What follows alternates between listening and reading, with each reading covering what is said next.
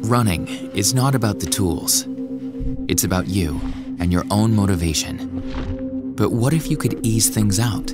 What if the energy you put into your running suddenly came back?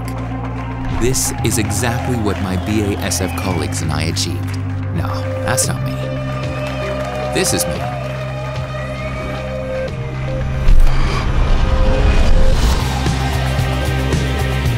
This is the team of dedicated specialists that brought everything to life. The concept of a running shoe that would give back most of the energy you put into it. A shoe that would not only bounce, but fly. Before we could produce anything, we had to walk the extra mile. Our engineers and I invented a production process for our client.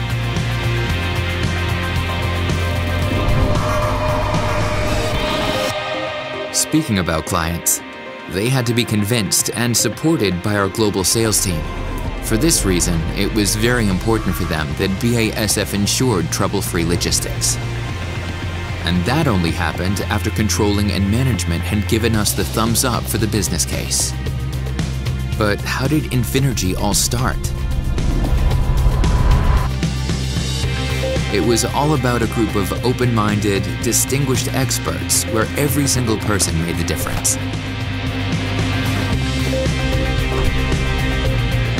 The right people meet at the right time, in the right place, to exchange ideas. Who would have thought that I could set off my career in running shoes, powered by connected minds?